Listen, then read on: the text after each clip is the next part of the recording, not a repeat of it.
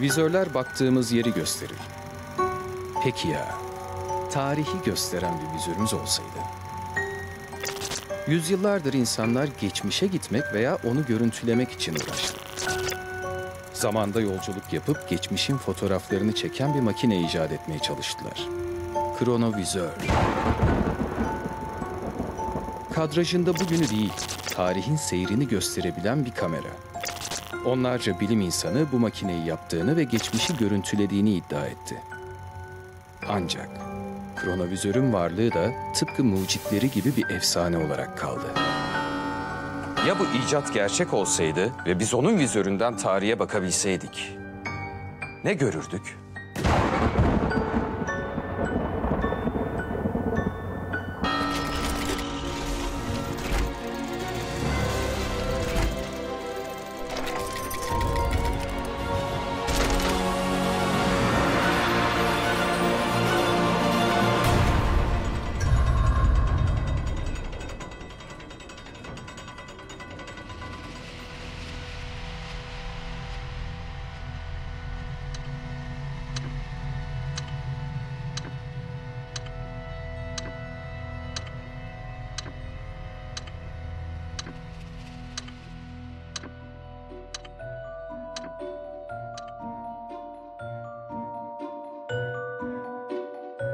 Elizabeth Haley, zaman en acımasız hırsızdır der.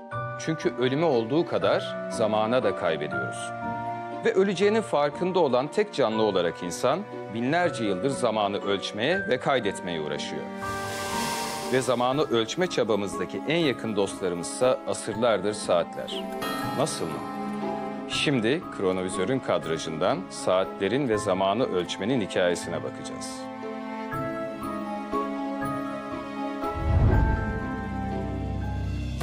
Her şey güneşin ufukta doğduğu bir sabah başladı. İnsanoğlu taş devrinin başlarında güneşin hep aynı yönden doğup aynı yönden battığını keşfetti. Gece ile gündüzün ve yazlarla kışların bir döngü halinde tekrar ettiğinin farkına vardı. Ve bu döngüyü takip ederek zamanı ölçmeyi öğrendi. 42 bin yıl önce Güney Afrika Lebombo dağlarında tarihin ilk takvimi icat edildi. Bir babunun kaval kemiğine çizgiler çizilerek yapılan bu ilkel takvimi, Afrika'nın Kongo-Uganda sınırında keşfedilen 23 bin yıllık İşango kemiği takip etti. Yine bir babun kemiğinden yapılan tarihin bu ilk takvimleri aynı zamanda tarihin ilk zaman ölçerleriydi. Zamanı ölçme girişimleri ilk kez Paleolitik çağda yani yontma taş devrinde başlamıştı. İnsanlar güneş ve ayın sürekli aynı hareketleri yaptığını fark edip döngüsel zaman kavramını keşfettiler. Yani yazlar, kışlar, mevsimler hep aynı zaman aralığında değişiyor. Güneş her gün gökyüzünde aynı rotayı izliyor ve ay hep aynı sırayla biçim değiştiriyordu. Bu basit ama oldukça önemli gözlem avcı toplayıcılara zamanın dikey değil, döngüsel bir hatta kendini tekrar ettiğini, yani zamanın ölçümlenebilir olduğunu düşündürmeye başladı. Biyolojik ritim beynin ön hipotalamusundaki belli çekirdekler tarafından yönetilir. Burada zaman algısını oluşturan başlıca şey aslında bu çekirdeklere gelen sinyaller. Özellikle gözden gelen sinyaller. Bunu şöyle yorumlayabiliriz aslında. Işık bizim beynimizdeki zaman algısını ortaya çıkartan en önemli faktördür. Bunun sebebi insan gece ve gündüzü algılamaya çok ihtiyaç duydu hayatta kalmak için. Ama bugün buna ihtiyaç olmasa bile insan beyni bu ışığın etkisiyle bütün hormonal sistemi kontrol ediyor. Güneşten farklı olarak daha kısa döngülerle hareket eden ayın hareketleri zamanı ölçmek için ilk mikro referansa dönüştü. Samuel Macy'ye göre 28 bin yıl önce avcı toplayıcılar ayın hareketlerini izlemeye başladı ve ayın hareketlerini çizerek ilk kayıtlı takvimleri icat ettiler. Fransa Lascaux mağarasındaki 17 bin yıllık çizimler ilk ay takvimi girişimleriydi. Gerçek anlamda bilinen ilk ay takvimi ise İskoçya Warrenfield'da milattan önce 8000'de ortaya çıktı. Bundan 5000 yıl sonra ise Mısırlılar tarihin ilk güneş takvimini geliştirdi. Mısır medeniyeti gerçekten bugün kullandığımız takvimin temellerini attı ve biz aslında onların oluşturduğu takvimi kaba bir ifadeyle çok benzerini kullanıyoruz. Eski Mısır'da zamanı ölçmenin pragmatik bir sebebi vardı. Mısır medeniyetinin etrafına kurulu olduğu Nil Nehri'nin taşkın zamanlarını önceden hesaplayabilmek. Fakat Mısırlılar bunu güneşe bakarak yapmaya karar verdiler. Ve 5000 yıl önce güneşin hareket sürelerini gerçeğe oldukça yakın bir şekilde hesapladılar. Bu tarihin ilk güneş takvimi ve bir yılın 365 gün olduğunun keşfiydi. Mısırlılar o çağda güneşin dünyanın etrafında döndüğünü düşünüyorlardı ve bir yıllık hareketinin de dairesel bir akış olduğunu biliyorlardı. Bu akışı üçe böldüler ve her bir bölümün 120 gün olduğunu hesapladılar. Ve bu bölümleri de kendi içlerinde 4 aya böldüler. Böylece 365 günlük takvim sisteminin temelini attılar. Ay takvimini kullanan medeniyetlerse bir yılı 354 gün olarak alıyordu. Çünkü ay dünyanın etrafındaki 12 turunu 354 günde tamamlıyordu. İslam medeniyeti de ay takvimini benimsemişti. Dini bayramlar bu yüzden her yıl 10 gün geri gelir. Aslında biz Mısır medeniyetinin ve Babil medeniyetinin yaptığı takvimi kullanıyoruz. Çünkü onların inancına göre güneş bir kayıya biniyor ve gece yer altından yolculuğuna kayıkla devam ediyor. Güneşin yer altında yaptığı bu yolculuk yine 12 saat sürüyor. Bu 12 saati nereden buluyorlar? İki yıldız kendilerinin ifadesiyle dekan arasındaki süre Tıpkı takvim gibi tarihin ilk saatleri de güneşi esas alarak çalışıyordu. Eski Mısır'da güneşin bir günlük hareketini 12 eş parçaya ayıran ilk güneş saatleri icat edildi. Mısırlılar bir çubuğun gölgesine bakarak güneşin konumuna göre saatleri hesapladılar. Bu güneş saatleri Orta Çağ'da Batı'da ve İslam dünyasında da kullanılmaya devam etti. Bir günü 24'e bölme fikri ise ilk kez antik Yunan filozofu Hiparkus'a aittir. Mısırlılar duodesimal yani 12'lik sistemi kullanarak bir günü kendi içinde bölen ilk medeniyetti. Ve bunun için de gölgeyi kullandılar. Bir çubuk diktiler ve gölgeyi takip ettiler. Güneş saatinin basit çalışma şeklini böyle bir çubukla gösterebiliriz. Bu güneşimiz olsun. Bu da referans çubuğumuz. Güneşin gün içerisinde yaptığı dairesel hareketi belirlenmiş zaman aralığında gölgenin yerini değiştirir ve saati gösterir. Bir güneş saatinin çalışma prensibi bu kadar basittir. Dünyanın biliyorsunuz ekseni eğiktir. Bir turunu bir günde gerçekleştirirken güneş saat noktasındaki çubuk da gölgesini bir turunu bir günde gerçekleştirecek şekilde devam ettirir. Şimdi bu sırada eğer güneş saatinin kadranı yere paralelse gölgenin oluşturduğu hareket tam olarak düzgün şekilde çıkmaz. O yüzden güneş saatlerini ekvatora paralel olacak şekilde kaydırırlar ve bir açı yapar. Bir saatin 60 dakika olması fikri Sümerlerin tarihe bir hediyesidir. Çünkü Sümerler matematiğin gökten indirilen kutsal bir bilgi olduğuna inanırdı ve 60 ile 12 sayılarına önem verirdi. Bu yüzden onluk sayı sistemi yerine 60'lık bir sayı sistemini kullandılar. Ve bir günü oluşturan saatlerin her birinin 60 dakika olması gerektiğini tam 4500 yıl önce ileri sürdüler. —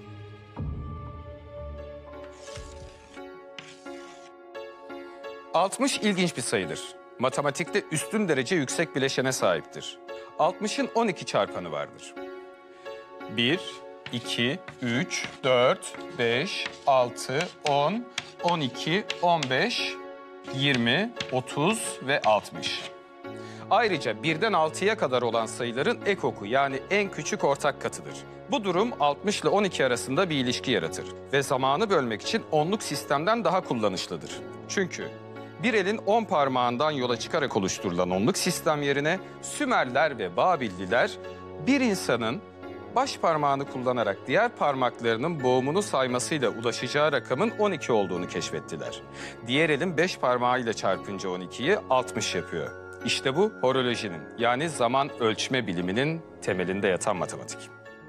Milattan önce 2000'li yıllardan itibaren bir takım güneş saatlerinin ilkel de olsa kullanıldığını biz biliyoruz. Elbette Mısır'dan, Mezopotamya'dan, özellikle Hint bölgesindeki bu zamana dönük, ayarlamaya dönük çalışmalardan etkilenmeler olmuştur. Ve bu etkilenmelerin sonunda önce güneş saatinin ayarları ile ilgili farklılıklar oluştuğu gibi su ile çalışan saatler ortaya çıkmış. Su ile çalışan saatlerde de yine benzer bir şekilde basit bir mekanik düzenle kaptaki suyun başka bir kaba aktarılmasıyla bir zaman ölçümü yapılmaya çalışılmıştır. Tarihin ilk saat kulesini M.Ö. 1. yüzyılda Makedonyalı Andronikos Atina'da inşa etti. Rüzgarlar Kulesi adını verdiği bu yapı dev bir güneş saatiydi ve aynı zamanda içinde bir su saati de barındırıyordu. Zira suyun atmosfer basıncındaki standart akış hızı zamanı ölçmek için güneşin hareketinden sonra insanlar için ikinci temel referans olmuştu. Suyun akışına göre saati hesaplama fikri ilk kez Babil'de bir kil tablet üzerinde tarif edildi. Zamanla gelişen bu fikri 1206'da İslam alimi El Cezeri mekanik bir filli su saati tasarlayarak bir adım öteye taşıdı. 10. yüzyılda ise Japonya'da ilk mum saatleri doğdu. Bir mumun yanma hızına göre zamanın ölçüldüğü bu saatlerde eriyen mumun boyu zamanı gösteriyordu.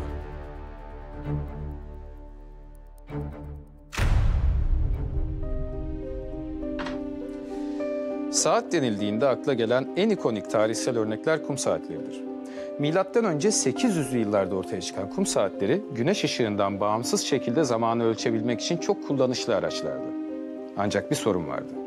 Her defasında yeniden başlatmak gerekiyordu. Özellikle denizcilerin kullandığı kum saatleri geceleri zamanı ölçmek için çok verimli olsa da daimi olarak kullanılamıyordu. Bu yüzden kum saatleri birer saatten ziyade kronometreydi. Geceleri de zamanı daha hassas ölçebilmek içinse 13. yüzyılda saat teknolojisinin mekanikle buluşması gerekiyordu. 2300 yıl önce Yunan filozof Arşimet tarihin ilk dişli tasarımını yaptı.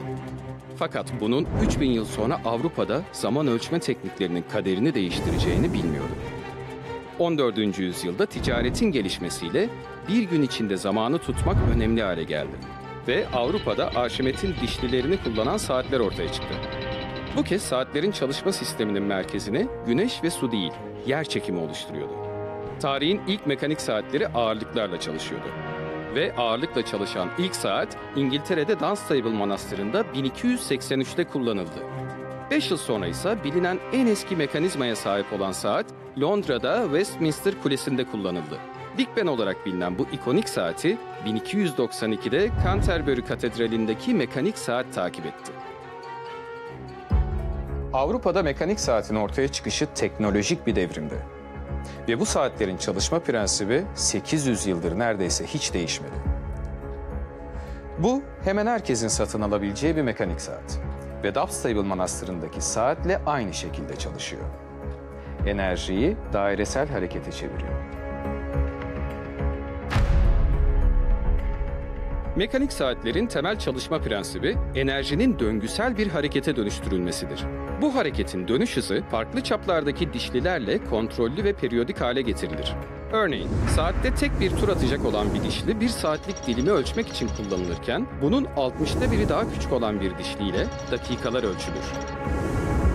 Mekanik saatlerdeki ağırlıklarsa temelde bu dişlileri döndürmek için kullanılır. Eski zamanlara baktığımız zaman makaranın üzerine sarılmış bir ip düşünelim ya da bir zincir de olabilir. Bu ucunda büyük bir ağırlık var. Bu ağırlık makaraya bağlandığı zaman düşmesini yavaşlatacak ve sabit hızla düşmesini sağlayacak bir mekanizma geliştirmek icap etti. Bir dişli var. Tutuyor bir dişi, bırakıyor, tutuyor, bırakıyor. Her seferinde bir diş kaçırarak ağırlığın çok yavaş şekilde inmesini sağlıyor. Bir günde ağırlık aşağı inerken yavaş yavaş bir hareket oluşuyor ve saati görebiliyoruz. Fakat ağırlık olmadan da bir saat mekanizmasını çalıştırmanın yolu 1400'lerin başında ortaya çıktı. Yay tahrikli saatler. Bir zemberekle çalışan bu saatlerin ilk örneklerinden biri Fransa'da Burgonya Dükü 3. Filip'e hediye edildi. 1475'te ise Paulus Almanus zemberek enerjisini kullanarak tarihin ilk dakika gösteren saatini icat etti. Alman kilit ustası Peter Hanlein 1511'de tarihin ilk kurmalı saatini üretti. Böylece saatler bir ağırlık ya da yerçekimi etkisi olmadan da çalışmaya başladı. İslam dünyasında özellikle 706 yılından itibaren mekanik saatlerin kullandığını biz görüyoruz. Kral Şarl'a hediye edilen bir saat var. Abbas hükümdarının saat basbaya mekanik saat. Kendi içerisinde kurgusu olan ve 24 saati, 12 saat değil artık, 24 saati bir bütün halinde ölçen bir mekanik saat var elimizde. Batılılar önce Endülüs üzerinden, daha sonra Haçlı seferleriyle, daha sonra kendi bireysel seyyahlar yolu üzeriyle İslam dünyasındaki bu ileri gelişimi fark ediyorlar.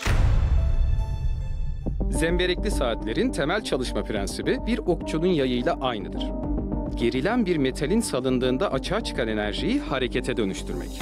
Bunun için zembereğin etrafına bir kama konur. Bu kama zembereğin dışa doğru olan salınma hareketini yatay yönlü bir harekete çevirir ve bir eksantrik mile aktarır. Bu mil saati çalıştıran dişlilere aynı periyodik aralıklarla temas eder. Böylece mekanik saat çalışır. Mekanik saati kimin icat ettiğini kimse tam olarak bilmiyor. Muhtemelen onlar yay tahrikli veya ağırlıkla çalışan su saati tamircisi isimsiz insanlardı. Evet, insanların su saatleri vardı. Su belli bir seviyeye ulaştığında muhteşem bir şey yapıyordu ve sonra insanlar fark etti ki muhteşem bir şey yapan bu mekanizmayı kullanabiliriz ve ortalığı suyla dağıtmak zorunda kalmadan da zamanı ölçmenin bir yolunu bulabiliriz. İşte 1300'lerde ilk mekanik saatleri görmeye başlarsınız.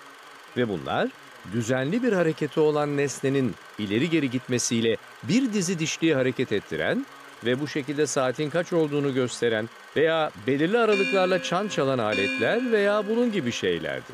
Tüm bunlar 1300'ler civarında ortaya çıkmaya başladı.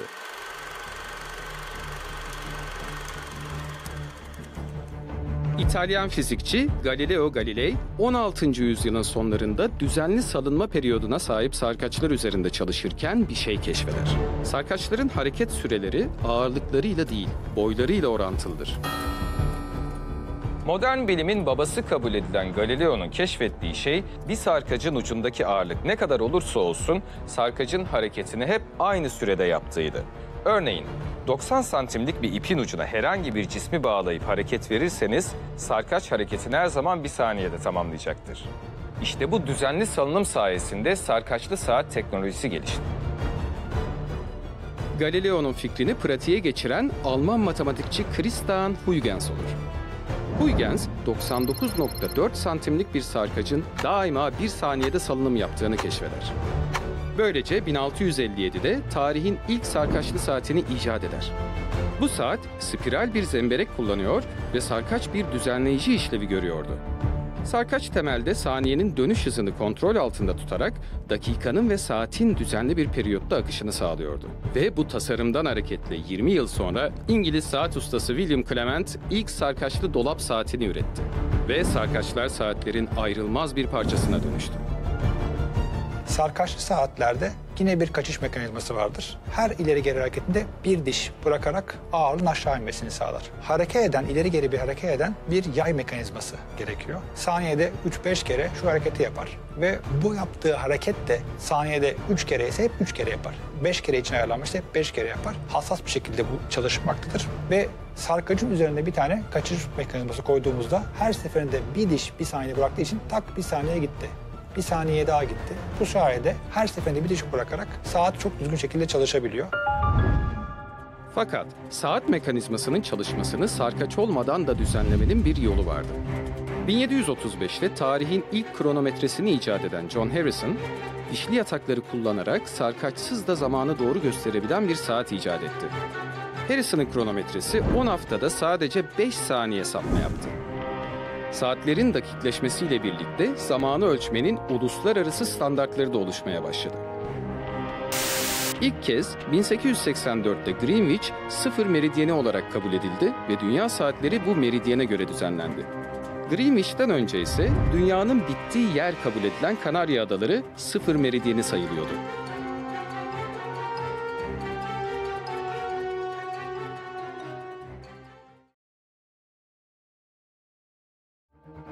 Zamanı ölçmede ilk zembereğin kullanılmasından 300 yıl sonra bir adam saat mekanizmasını elektrikle çalıştırabileceğini fark etti. İngiliz mucit Ronalds 1814'te ilk elektrikli saati icat etti. Ancak elektriği hem zemberek hem sarkaç olarak kullanmak için bir kristalin piyezoelektrik tepkisinin keşfedilmesi gerekiyordu. Kuvars taşı. 1927 yılında Kanadalı mühendis Warren Marison kuvars saatini tasarladı.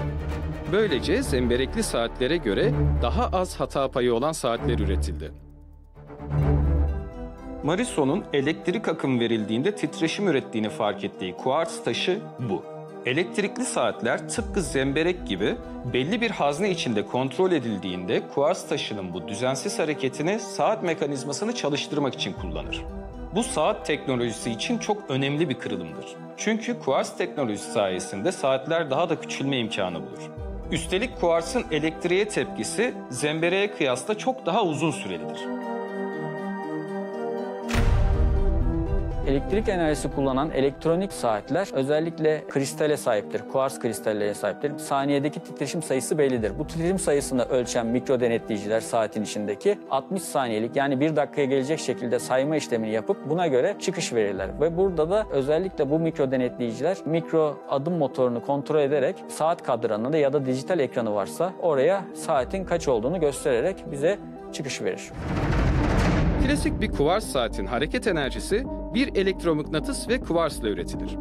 Kuvarsın elektrikle ürettiği hareket ise bir salınım yaratarak mıknatısa giden elektrik devresini açıp kapatır. Devre her açıldığında elektromıknatıs gergin mili kendine çeker ve devre kapandığında ise geri bırakır. Düzenli aralıklarla mıknatısa giden elektriği açıp kapaması mekanizmanın dişlilerini döndüren temel hareketi oluşturur. Böylece piezo elektrik tepkiyle zaman akışı düzenlenmiş olur. Sanayi devrimiyle birlikte zamanın daha önemli hale gelmesiyle Avrupa şehirlerinin merkezlerini saat kuleleri süslemeye başladı. Köstekli saatle birlikte ise dakikalar hayatımıza girer. Pilli saatlerle ise saniyeler cebimize girer. Zamanı ölçmekteki bu teknolojik ilerlemenin bir sonraki adımı ise dijital çağ olacaktır. Aslında dijital saatlerin atası 1884'te Avusturyalı mühendis olan Joseph Paul Weber'in tasarımı olur. Akrep ve yelkovanı döndürmek yerine rakamları döndüren ilk saati tasarlar ve bu dijital görüntünün erken temellerini atar. Kol saatinin ortaya çıkışının da sıra dışı bir hikayesi vardır. Tarihte bilinen ilk kol saati Fransız İmparator Napolyon'un karısı Josephine 1806'da hediye edildi. Takip eden asır boyunca kola takılan saatleri sadece kadınlar kullandı. Erkeklerse köstekli saatler kullanırdı. Ancak 1881'de İngilizlerin Güney Afrika'daki sömürge savaşları sırasında İngiliz subaylar eş zamanlı harekat için bileklerine saat takmaya başladı. 30 yıl içinde Birinci Dünya Savaşı'nın başlamasıyla kol saatleri tamamen askeri amaçlı olarak üretildi ve savaş sonunda yeni bir modaya dönüştü. Saat teknolojisi savaştan sonra da gelişmeye devam etti. Tarihte ilk pilli saatler 1952'de üretildi. 1970'te ilk LED ekranlı kol saati, 1994'te ilk akıllı saatler ve 2014'te PET saatler icat edildi. Analog bir işaret zamanda süreklidir ve her daim devam eder. Ama biz dijital dediğimiz yapılarda ayrık bir durum vardır. Elektronik sistemlerde, bilgisayarlarda, günümüz bilgisayarlarda dijital sistemi kullanır. Dijital sistemlerde ayrık olduğu için bu değerler ikili kod sistemiyle ortaya konulur. Binary dediğimiz bu kod sisteminde 0 ve 1'lerden oluşuyor. Bu binary dediğimiz sistemlerdeki duruma göre var ya da yok yani 0 ya da 1 aslında işaretin dijital olarak örneklenmesini sağlıyor. Dijital saatlerde göstergeler de dijital olarak yani likit kristal ekran ya da led ekran olarak karşımıza çıkıyor ve zamanı bize sayılar olarak karşımıza koymaktadır. Artık saat deyince hepimizin zihninde canlanan fotoğraf bu. Dijital rakamlardan oluşan ve günümüzde neredeyse her eşyanın üzerinde kolaylıkla bulunabilen bir saat. Ancak Big Ben Kulesi'nin saat mekanizmasının 5,5 ton olduğu hatırlanırsa zamanı ölçmenin teknolojisinin baş döndürücü değişimi anlaşılmış olur. Üstelik saatleri ayarlamak için atomları kullandığımızı düşünürsek. İlk kez 1344'te İtalya'da Giovanni Dondi del Orologio Astrarium adını verdiği Güneş, Ay ve o yıllarda bilinen 5 gezegenin dönüşlerini gösteren bir astronomi saati icat etti. Bu astronomik zaman ölçümü için ilk adımdı. Del Orologio'dan 5 asır sonra ise zamanı ölçmek için atomlardan yararlanma fikri ilk olarak 1800'lerin sonlarında Lord Kelvin ve James Clerk Maxwell tarafından ileri sürüldü. Tıpkı bir sarkaç ya da kuvars taşının düzenli hareketi gibi atom altı hareketi esas alan ilk saati ise 1955 yılında İngiliz fizikçi Louis Essen geliştirdi. Modern dünyada zamanı ölçmek için artık atom altı enerjiyi kullanıyoruz. Yani atom saatlerini. Atom saatleri bir atomun rezonans frekanslarını ölçerek çalışır. Bu santimin milyarda biri ölçeğinde elektronlarda oluşan sabit bir salınımdır. Ve bir atom saatinin yanılma payı 3 milyon yılda 1 saniyedir. Bilgisayarlarda ise zaman ölçümü timer chip ile yapılır. Bunlar gönderdiği interrupt sayısına göre hassasiyeti değişen saatlerdir. Örneğin timer chip saniyede 10 bin interrupt da yollayabilir, 1 milyon da yollayabilir. İnsanoğlunun en eski keşfi olan zamanın ölçülebilirliği aslında binlerce yıllık bilimsel bir yolculuk. Babun kemiğinden yapılan ilk takvimlerden güneş saatlerine, mekanik saatlerden elektronik saatlere ve dijital saatlerden atom saatlerine. Bu yolculuğun en ilginç tarafı ise zamanı ölçüm aletlerinin tekerlekten bile önce icat edilmesiydi. Artık Nil'in taşma mevsiminden daha fazlasını merak ediyoruz. Saniyeleri, saliseleri, hatta nanosaniyeleri bile tespit edebiliyoruz. İşte bu gerçek bir zaman yolculuğudur. Aslında saatlerin teknolojik gelişimi, insanoğlunun içinde bulunduğu doğayı kullanmayı öğrenişinin hikayesiydi. Her asır saatlerimizi çalıştırmak için yeni sabiteler ürettik. Bir sarkacın salınımından, bir kristalin titreşiminden ve elektronların hareketlerinden yararlandık. Fakat onca değişime rağmen zamanı ölçme çabamız hep aynı kaldı.